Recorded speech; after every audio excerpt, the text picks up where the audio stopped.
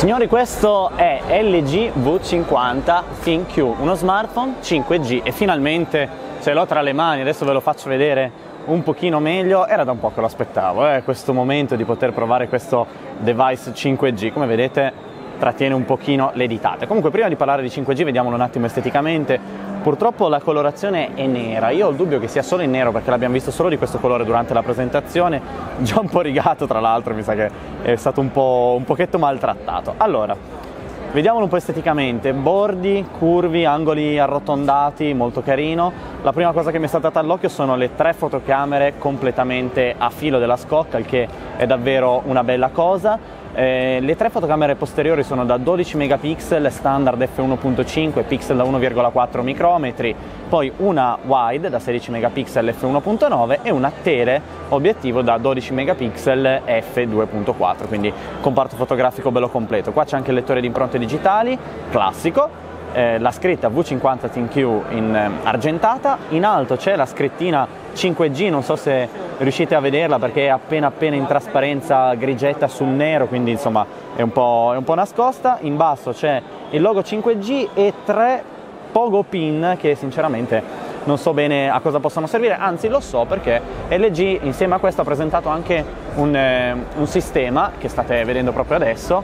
che eh, permette di collegare il telefono ad un secondo schermo, una sorta di pad dedicata, dedicato um, evidentemente al gaming e, sicuramente il collegamento avverrà tramite, um, i, tramite questi tre pin magnetici, o meglio, tre pin elettrici che sono posizionati qua. Poi in basso abbiamo invece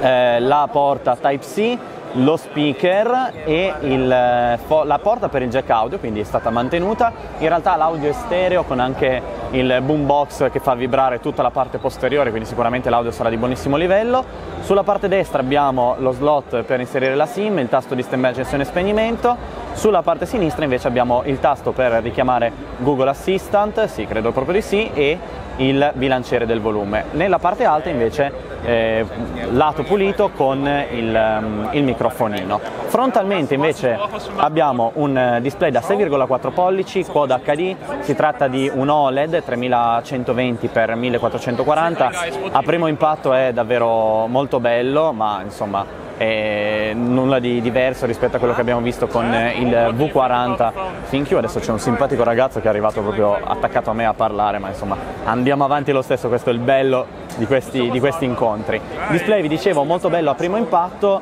ma ovviamente le condizioni di luce qua non sono delle migliori quindi è difficile darvi una valutazione. Comunque insomma dovrebbe essere un display di LG eh, poi all'interno processore Qualcomm Snapdragon 855, quindi già compatibile con il um, ehm, 5G grazie al modem X50 che però vi ricordo non è l'ultima versione che è stata presentata proprio qua durante il Mobile World Congress che è capace di collegarsi al 5G eh, stand alone, quindi senza bisogno di passare dal 4G. Questo passa dal 4G e si aggancia poi al 5G e quindi ha anche una velocità leggermente ridotta, ma comunque questo è uno smartphone 5G a tutti gli effetti. Per far fronte alla necessità, del, alla mm, richiesta maggiore di energia del 5G c'è una batteria da 4000 mAh che è abbastanza simpatico perché questo comunque è uno smartphone abbastanza piccolo e vi ricordo che sul V40 e sul G7 ThinQ, gli ultimi due top di gamma, insomma le batterie erano abbastanza piccole, appena superiori ai 3000, qua invece arriviamo a 4000. Per la cronaca pesa solo 183 grammi, quindi abbastanza contenuto, 159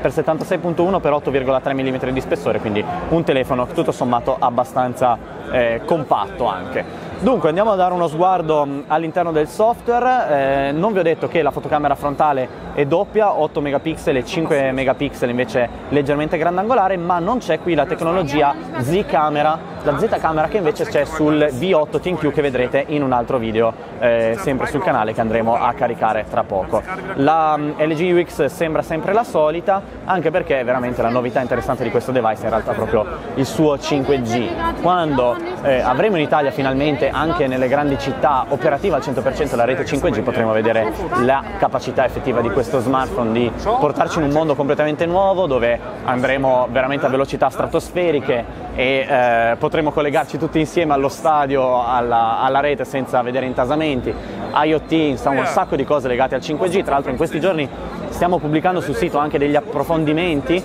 eh, tecnici e anche però pratici sul 5G, quindi magari vi lascio qualche link in descrizione che potrebbe esservi utile. Invece per il momento direi che è tutto con questo LG V50 ThinQ, noi ci vediamo come al solito ai prossimi video qui dal Mobile World Congress 2019, continuate a seguirci. Ciao!